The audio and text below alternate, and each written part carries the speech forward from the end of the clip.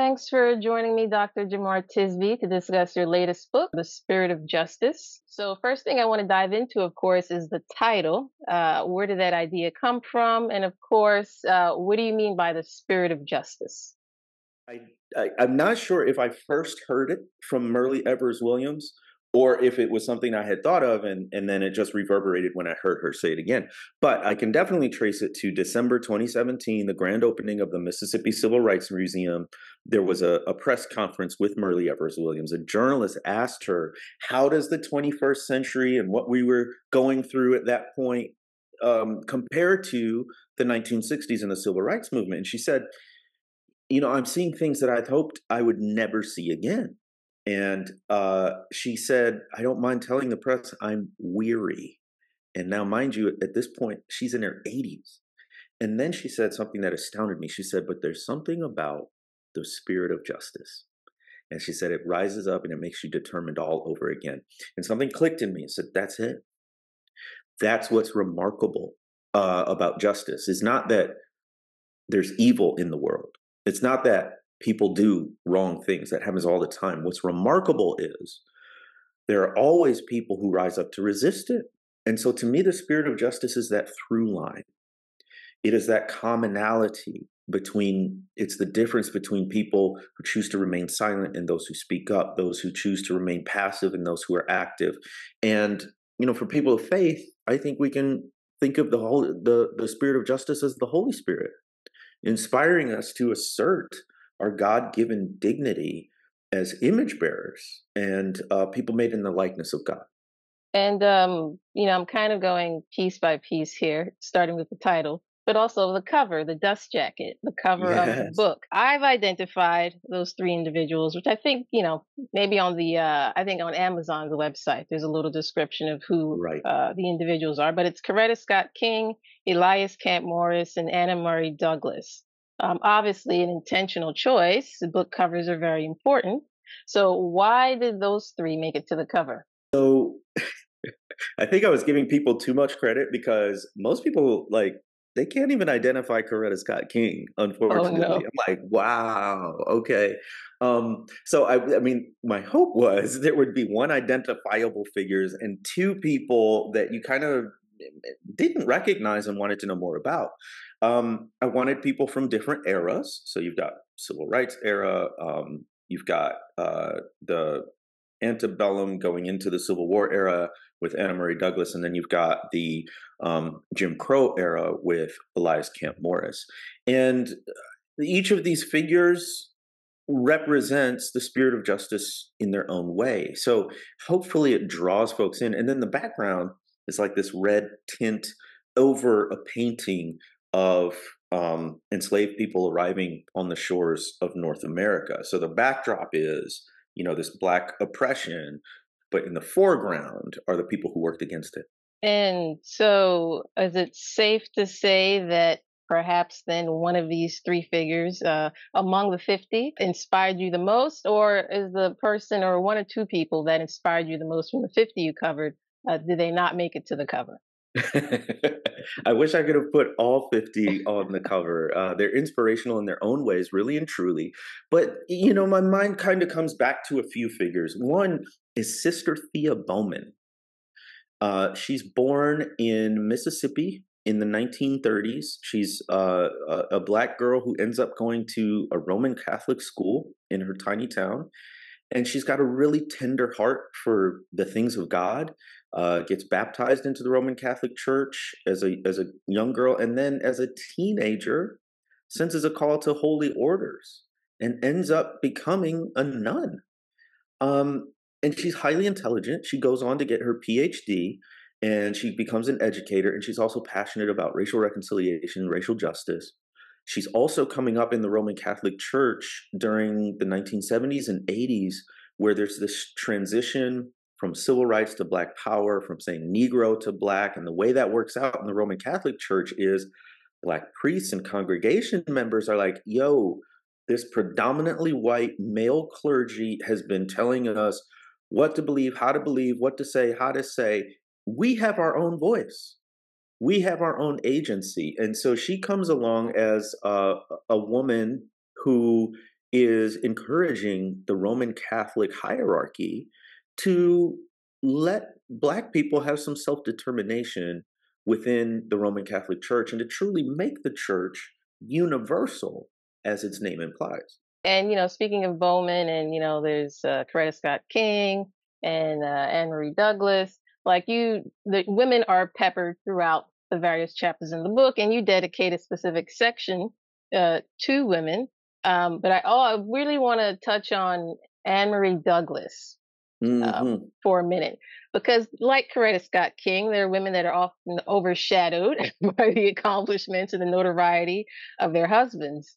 Um, so I was kind of uh, impressed to see uh, her highlighted because honestly, out of the books I've read, all I know was, you know, she was Douglass's first wife. No one is right. really taking the time to break down her history, her contribution, how she supported him so he could be right. great. You know? Yeah. Um, so talk about that a little bit. We wouldn't know Frederick Douglass, the abolitionist, had Anna Murray Douglass not helped him escape and then support him throughout his work. So, what's interesting about Anna Murray Douglass is she caught a lot of flack just for being Douglass's wife because she was unlettered.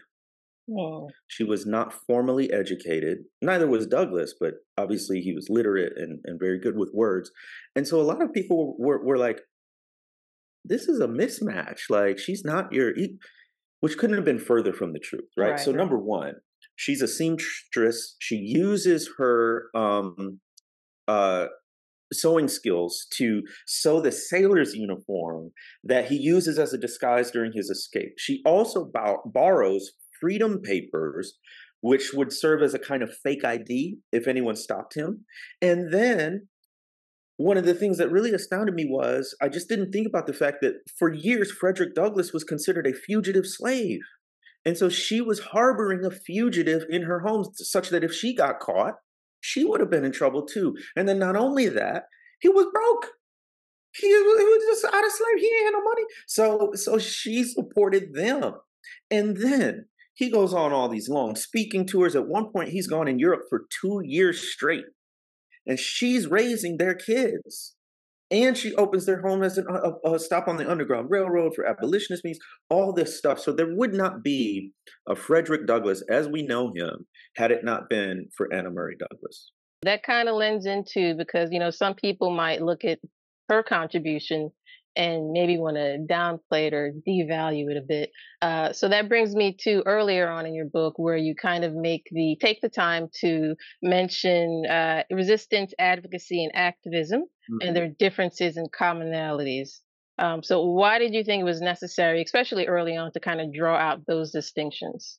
Yeah, I'm glad you asked. I think it's important. Look, I included a breadth of figures doing a wide variety of activities, some we may not initially think of as like justice oriented, like having a family. I categorize that as resistance because anything you do to assert your humanity in a world that is bent against you is a form of resistance. And it can be mundane. It can be writing poetry. It can be going for a walk outside. It can be uh, starting a school, whatever it might be, right? That's resistance, but it may not be conscious resistance, right? You getting a good night of sleep is not necessarily you consciously thinking I'm sticking it to white supremacy, right? But it is because it's built on you know black labor exploitation and the lack of rest right? But you may not be conscious of it while you're doing it. Advocacy is more conscious and it's a supportive role primarily. It amplifies it builds awareness. I think for a lot of people, especially white folks in like 2020 with the racial justice uprisings, they got catalyzed. And so they started sharing posts on social media. They started, you know, attending events, reading book, hosting book clubs. Those kinds of things are, are advocacy. You're amplifying, you're building awareness. But then there's another step or another category of resistance, which would be activism. And I think that's what we traditionally think of. It's the marches, it's the protests, it's the boycotts, it's the community organizers, the nonprofit leaders, the people on the front lines, sometimes literally putting their bodies on the line for justice. These are the folks advocates, you know, sort of prop up and lift up and support, um, but they're more direct, uh, you know, front lines folks. So, talk to me a bit about because you make an emphasis about this too that if we're going to talk about history, especially especially if you want to claim the heroes, quote unquote, uh, you know, we got to tell the whole truth. Um, yes. and you know, we're living in a time right now where you know people want to have revisionist history. Um, they want to control what kids and younger students are taught. Uh, so, why is it important to tell the truth, especially when we're looking at history? I just think we need these stories now. We are facing a honestly a white lash to what we saw in 2020. Uh, we don't have to get into this, but in many ways, it's a white lash to the first black president and and what happened there. So, you know, most recently, you know, no sooner did we have these historic racial justice uprisings in 2020, the calendar turns over to 21, and we have an insurrection the Confederate flag in the, the US Capitol building, right? So that's part and parcel of what else has happened. The rise of white Christian nationalism, anti CRT, defunding DEI, uh, uh, rolling back affirmative action provisions, uh, opposing African American studies curricula. This this is an opposition to history on two fronts. One, it's an opposition to this triumphant heroic story of American history that's one of perpetual progress. Yeah, we had these blemishes of slavery and segregation in the past, but we're over it now. See, America is fundamentally good and we always eventually do the right thing. It goes against that narrative.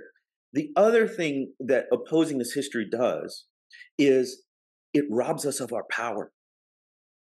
See, if we knew the stories, if we knew uh, about Anna Murray Douglas, if we knew how Coretta Scott King struggled and thrived and fought even after her husband's assassination, if we knew about uh, Paul Cuffe and Robert Smalls and, and the rest, then we might sense our own power to continue to resist and to continue work for justice. So it, this is subversive history, and it's a history that we need right now to continue to move toward a more perfect union the Evangelicals for Harris called. Yes. Um, so, are you an, an evangelical Harris? No. Why? Why not?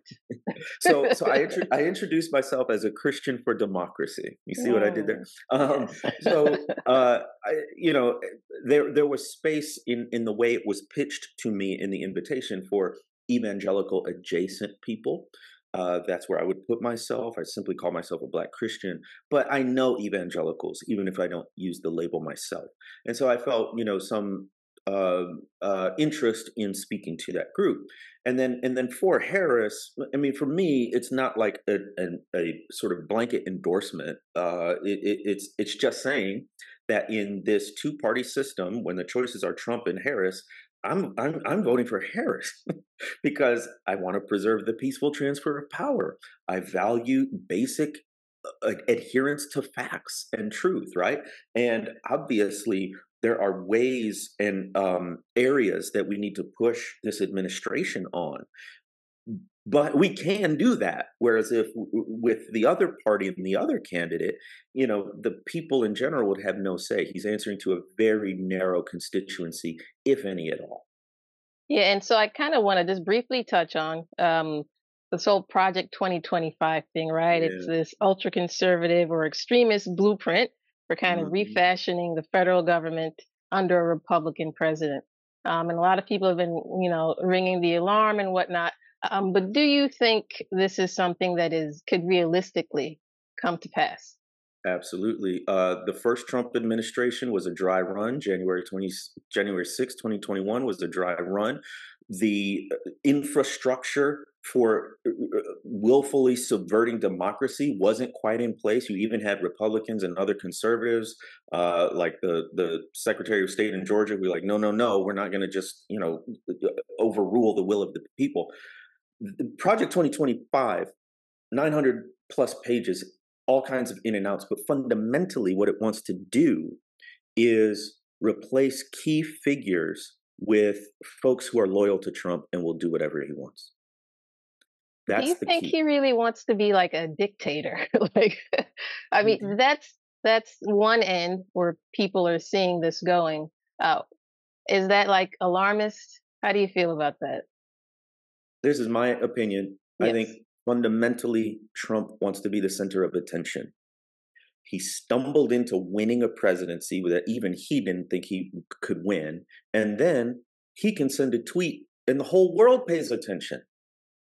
that kind of attention, that kind of focus, that kind of everyone listens to me is unparalleled. And I think he will do absolutely anything to get back there. I think he's actually less interested in power than some people are. Um, but he will use authoritarian style tactics to make sure that he stays the center of attention. So to me, I think fundamentally Trump is about attention and the presidency is a means to an end.